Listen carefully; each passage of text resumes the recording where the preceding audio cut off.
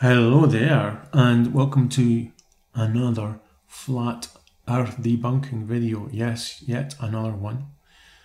This video is going to be looking at Australia, and in particularly, I'm going to be considering the size of Australia and how far across it is from east to west, because as many flat earthers and people against flat earth have pointed out, Australia can't be the size that we take it to be if the earth is flat. Well, first of all, let's get a sense of how big Australia is believed to be. Now, what I'm going to be doing is focusing on the distance between Sydney and Perth, two places right on opposite ends of Australia. So here's Sydney here. I'm going to take the distance right from Sydney Airport, which is about there, and go all the way across to Western Australia and Perth, which is down here. And there is Perth's airport right there. So airport to airport, it's taken to be about 2,040 miles. Uh, now, as I was saying, if you take the Earth to be flat, if you believe it to Earth to be the Earth to be flat, there's no way that you can accept that it's this distance, assuming everything else that we know about the world to be true. Well, the first thing I want to do is consider, you know, how big would Australia have to be, uh, assuming all things, all other things equal.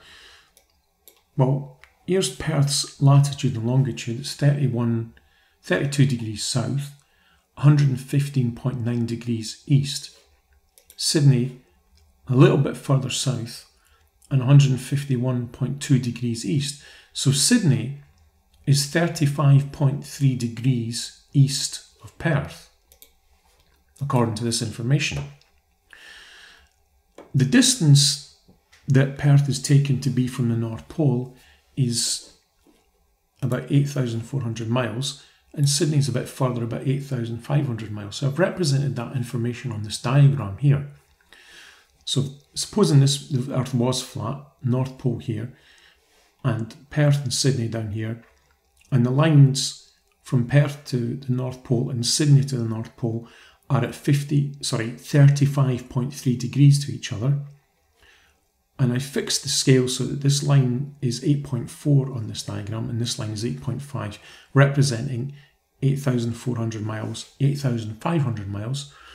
So we can draw a line from Perth to Sydney and get this program to just tell us how long that would be on this diagram, 5.1. So it would be 5,100 miles roughly from Perth to Sydney if the Earth was flat and the distance from the North Pole to Perth is what we believe it to be. So, how can we settle it? How far is it from Perth to Sydney?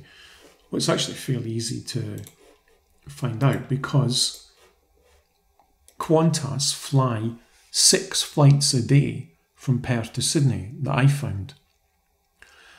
And you can track them, so you can't claim that these flights aren't real. And I've got one up right now that's flying as as I'm speaking to you from Perth to Australia. Sorry, not to from Perth to Sydney.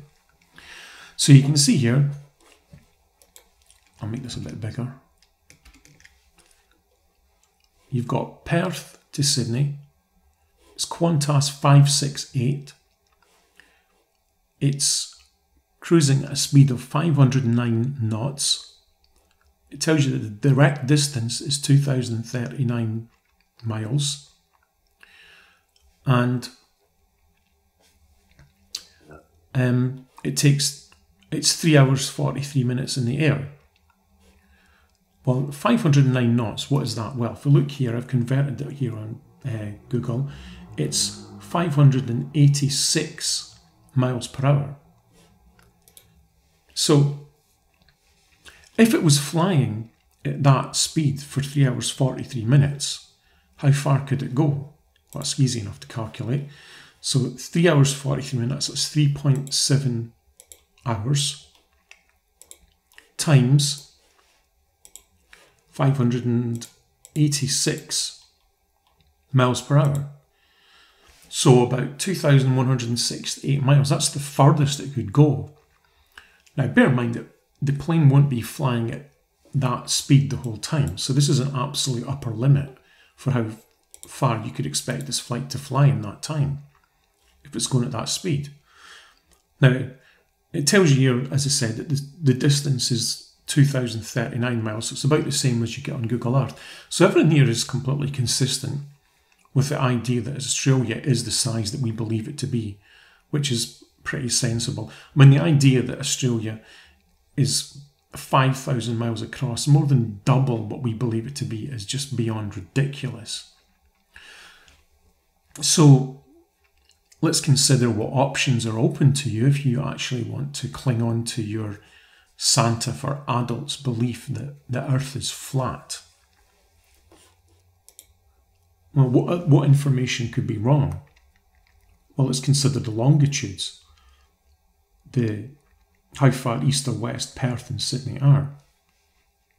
Well, your longitude isn't just how far east or west you are, it's also related to your time, and particularly what time solar noon would be at your location. So the idea that either one or both of these longitudes is radically wrong is just not realistic because it would be noticed very, very quickly. So it's absolutely reasonable to assume that these longitudes are correct. So, what about the latitudes? Well, let's go back to our diagram here. If you want the distance from Perth to Sydney to be less than half of what it is here, you thought this Perth and Sydney would have to both be less than half the distance along here. They'd have to be up here somewhere. They'd have to be about maybe 4,000 miles from the North Pole. Well, let's consider that. I know I'm looking at a spherical Earth model here, but um, if the distance from the North Pole to the, to the equator is what we believe it to be about 6,200 miles, then this will work for a flat Earth or a spherical Earth. So there's the longitude of Perth. So let's go up about to about 4,000 miles from the North Pole. Well, it's right in the middle of China in the Northern Hemisphere.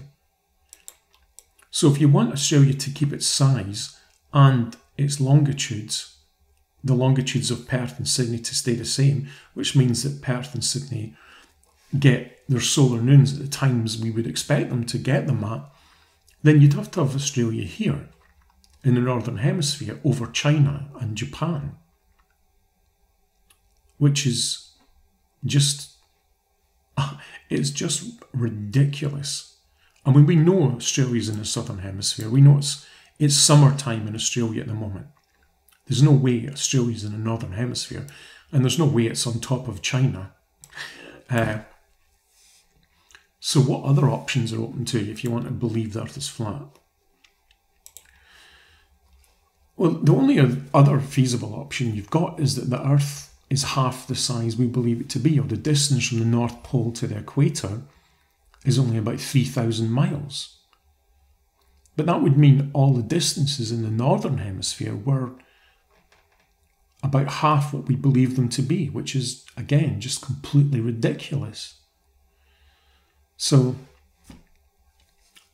I just don't really see any way out of this for you